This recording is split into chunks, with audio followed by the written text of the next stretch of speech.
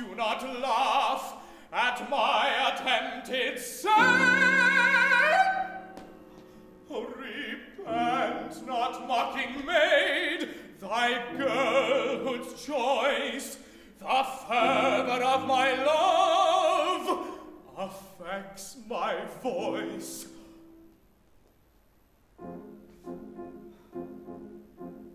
A tenero sings above, Of a question. Should keep himself quiet, attend to his diet, and carefully nurse his digestion. But when he is madly in love, it's certain to tell on his singing. You can't do chromatics with proper emphatics when anguish your bosom is ringing.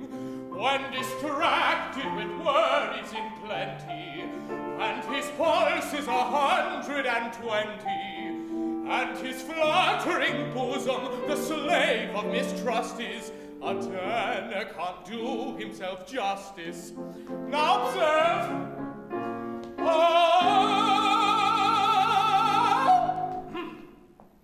You see, I can't do myself justice.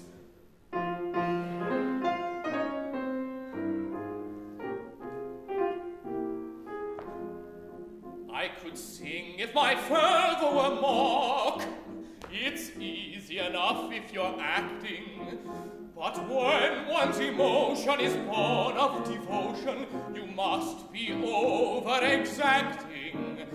But ought to be firm as a rock, to venture a shaking vibrato. When fervor's expected, keep cool and collected, and never attempt agitato, but of course when his tongue is of leather, and his lips appear pasted together, and his sensitive palate as dry as a crust is, a tanner can't do himself justice.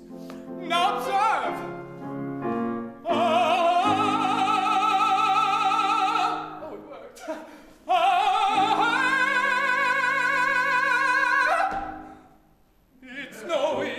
I can't do myself justice.